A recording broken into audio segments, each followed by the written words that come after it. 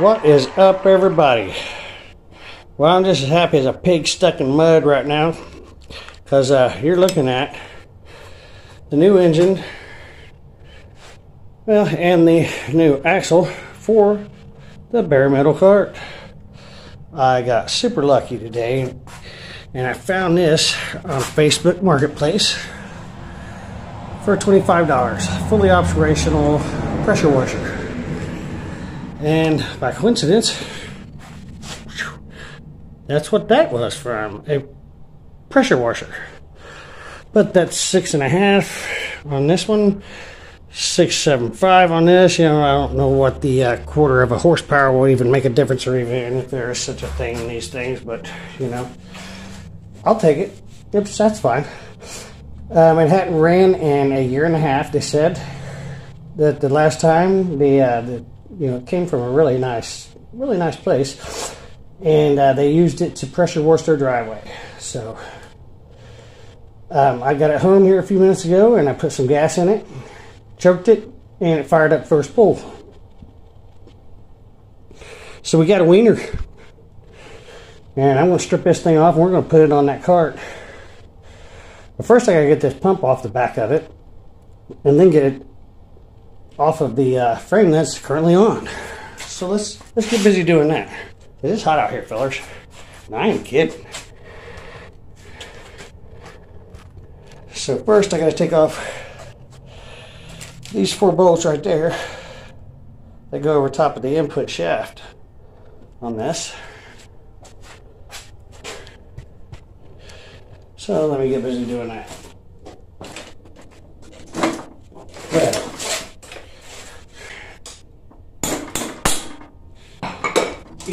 Gets right. Break loose.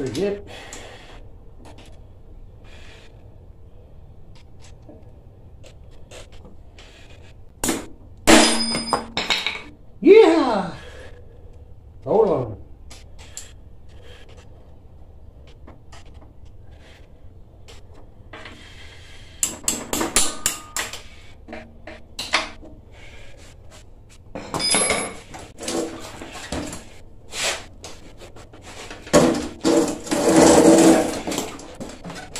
It's a pretty nice little rig here. I hate to tear it apart, but you know, its current configuration, I just don't need. Got a pressure washer. It's an electric one, but it's still a pressure washer. It washes pressurized like and all.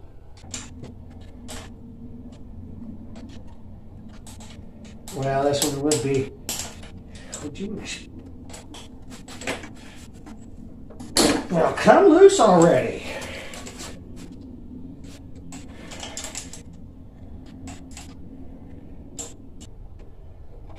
Well, I tell you, fellas, I don't know where you're from, but here in Indiana, it's hot.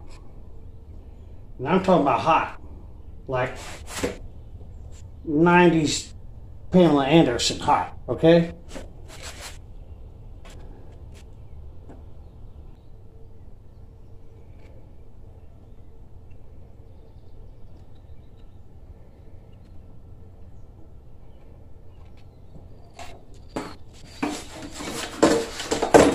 We're halfway there, fellas, to get the uh, pressure washer pump off of it anyways.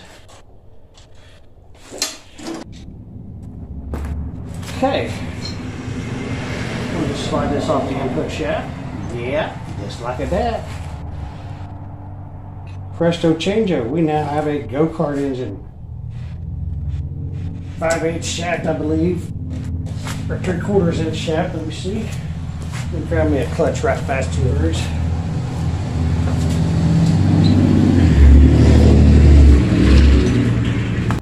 He's fit. Oh, fellers. We got some nice long key.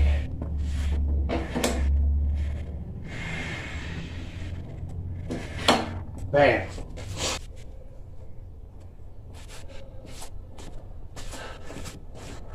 Little implementation here, fellas.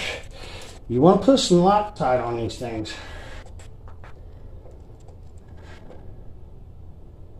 Let me tell you, fellers, they will come loose, and that's what snapped my axle from the drift track. It came loose, it pulled up on an angle, and it ripped my axle right in half. Of course, it was a little axle, but still, damage was done at that point.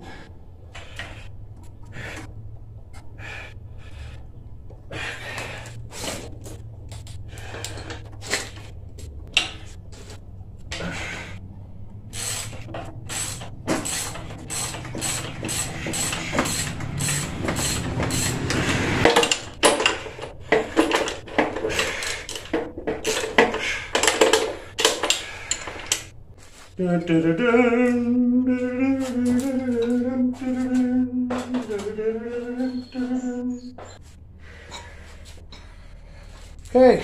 this is what we got.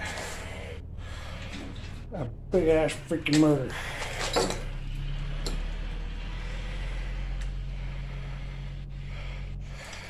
Going to have to get me a header, go kart header, when it comes up and goes out or maybe even when it goes down. Or at least out to the side because that's just that's not going to work in that way because it blows straight on the rider. Otherwise oh yeah disc brakes. Hydraulic disc brakes nonetheless. Axle sitting down there mocked up. I'm going to replace them. I got the heavier duty pillow bearings coming for that. I don't want to use those little thin ones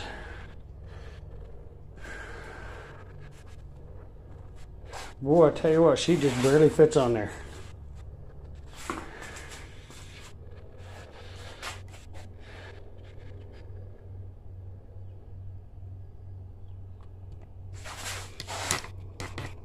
The axle will be right up in here, tucked away. Oh yeah.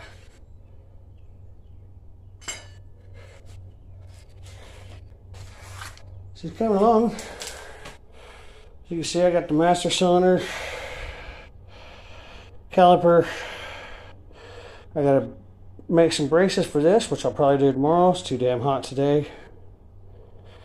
And uh, we'll get the rear end mounted. Meanwhile, I'm searching for a solution to the exhaust blowing straight back in our faces, which shouldn't be no big deal. If I have to, I'll make something. So that's where we're at, boys basically seven horses on demand. Loving it. Let me know how you guys feel about this building direction we're going in now. Bleep bloop down in the comment section down below. And we will see you guys soon. Thanks for watching, fellers.